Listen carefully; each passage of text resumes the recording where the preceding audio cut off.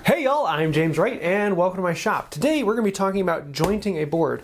I've got about a four foot long board here and we want to make this perfectly flat and true. So we would normally want to use a large jointer plane, but can you do that with a smaller four, four and a half? Let's dive in and take a look at it.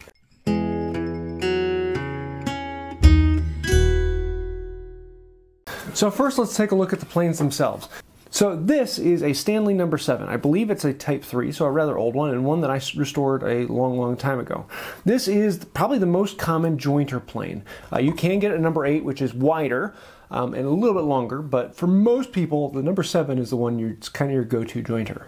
The reason it's a jointer is it's long enough to rest all the way across this sole. So you can kind of use this as a straight edge, and it will tell you if the board is straight most of the time. Here I have a uh, Stanley 4.5. Uh, this is one of my favorite go-to planes.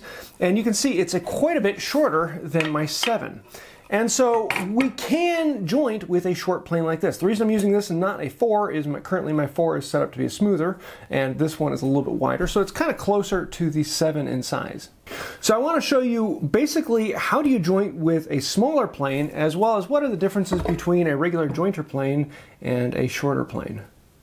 So here's the piece of wood we're going to be working with. It is a piece of cedar, so relatively easy to work with, and it'll just make it a little bit faster and easier to show you the methodology behind it. And currently, this has a bit of a concavity to it. It's lower here in the middle.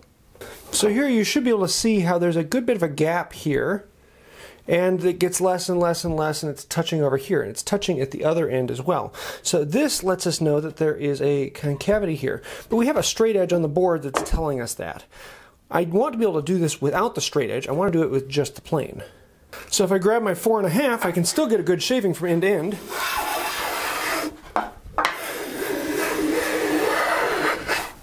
All the way along.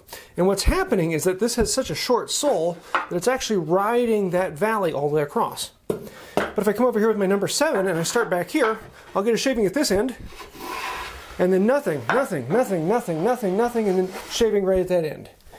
And so what happens is this rests on the high spot here and on the high spot here, and the blade doesn't touch in the middle. So as long as I take an even shaving, a little bit from this end, and nothing, and then a little bit from this end, I'm going to slowly bring these hills down until they meet here in the middle. So that's what I'm going to do here with this one.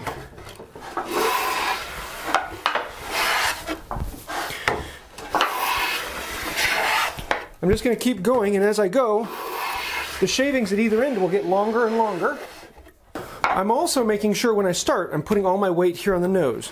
So I'm putting all my weight there, not putting any weight back here. I want to make sure when my hand is here, it's not pushing down back here. So I'm sliding across the board. And then when I get to the other end, I'm transferring. So I'm actually moving my hand back. I may even put my wrist back here to put some more weight back here. And I'm not putting any weight on the nose. I'm just letting the saw or the plane do the work here. So, weight on the nose to begin with weight on the tail to end with. And that way I make sure that I'm referencing back here and I'm getting a good flat surface. So we're going to keep going until we get a shaving from one end all the way to the other.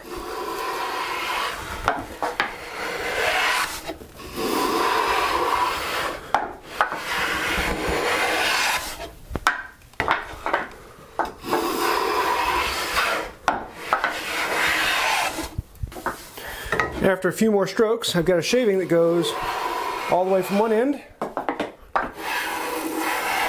to the other. Nice in the way I like it. So I know that this is perfectly flat now. Because I started with a belly here, I know that I've taken off the high points here until they've gotten down to this point. So if I bring my straight edge over here and I set it on, I'll see that indeed there is no light underneath that at all.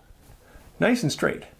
And if I get down right at the same level as the joint, you can see it's perfectly tight all the way across. I never brought this straight edge in here to check it.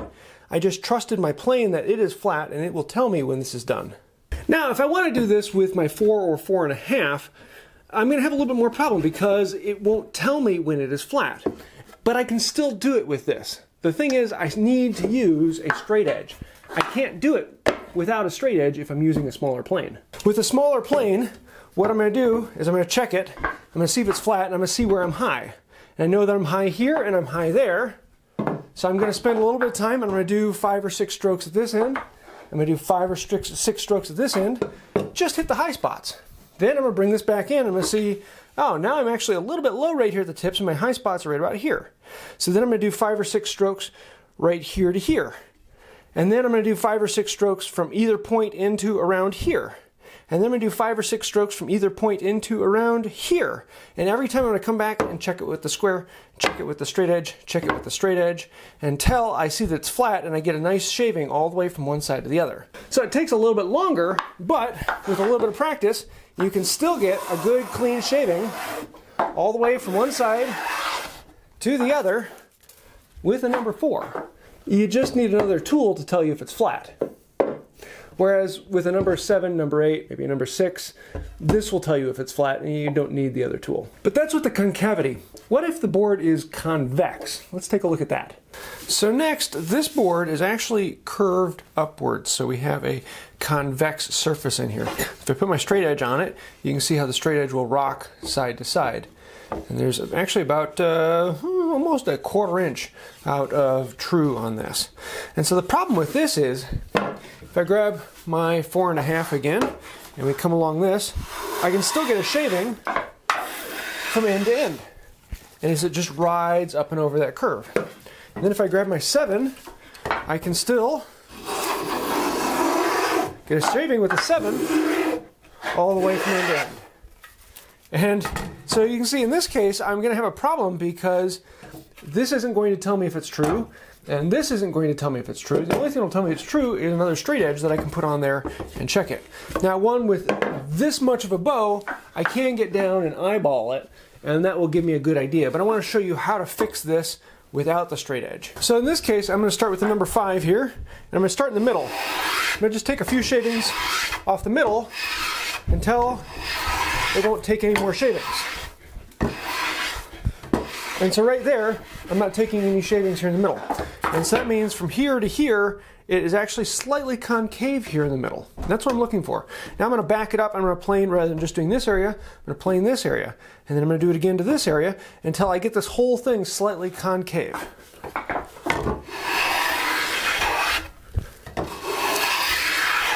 So here I've spent a little while on it. And now I'm not getting anything here in the middle. Still getting a shaving here at this end. I'm getting a shaving at this end. But nothing in the middle. So that lets me know that my high spots are here and here. So now I'm going to go one or two more times until I get a full shaving from end to end. Here's about a half a shaving in the middle. Now we're back to a full shaving again.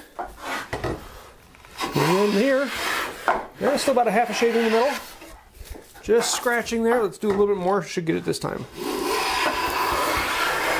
There we go. Now we have a full shaving from end to end. And so that tells me, as long as my plane is true, that this is nice and straight. So if I want to double check, I can bring my straight edge in, set it up on here, and I don't see any light coming through this all the way along.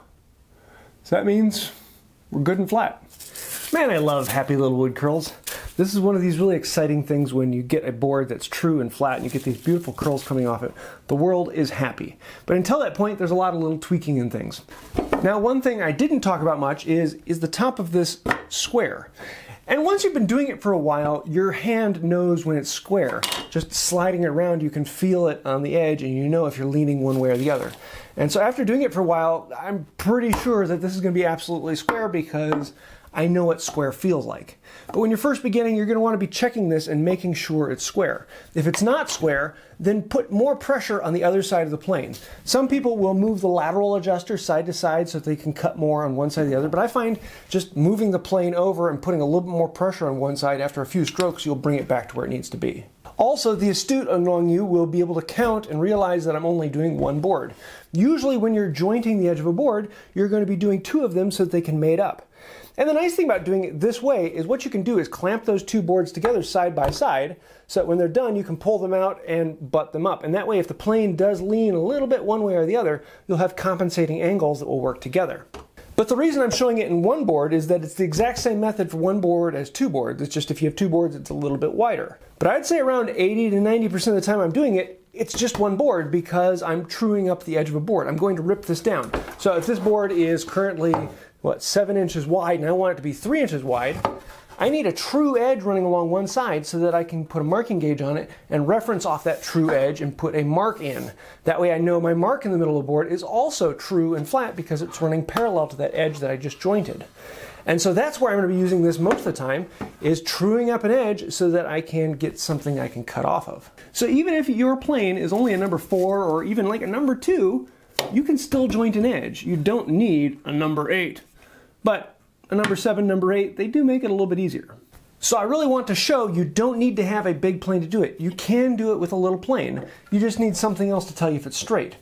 Now, that being said, you don't even need to have a perfectly straight, straight edge. A lot of times your eye can do the work for you. If you eyeball down the board, you'll be able to see where the high spots are, and 90% of the time, that is far more than accurate enough. You'll be able to look down and say, oh yeah, I have a high spot here, and I have a high spot here.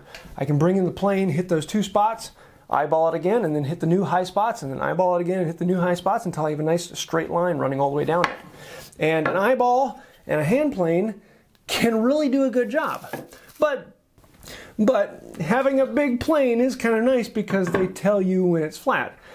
As long as you're careful when it comes to convex surfaces because those can be tricky. They, uh, they'll lie to you because a jointer plane will still ride up and over a convex surface. So I hope this answered a few questions for you. I'm sure it created many more as that does with woodworking. Let me know your questions, comments, ideas down in the comments below, and I'll get to as many of those as I possibly can.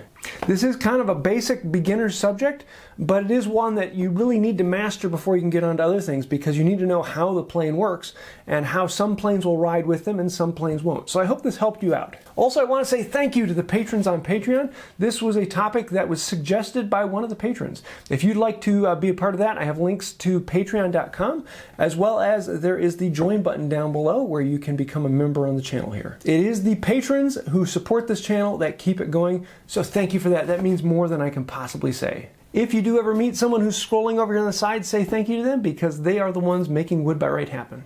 So I think that's about it for today, and until next time, have a wonderful day. Heidi ho there, neighbor.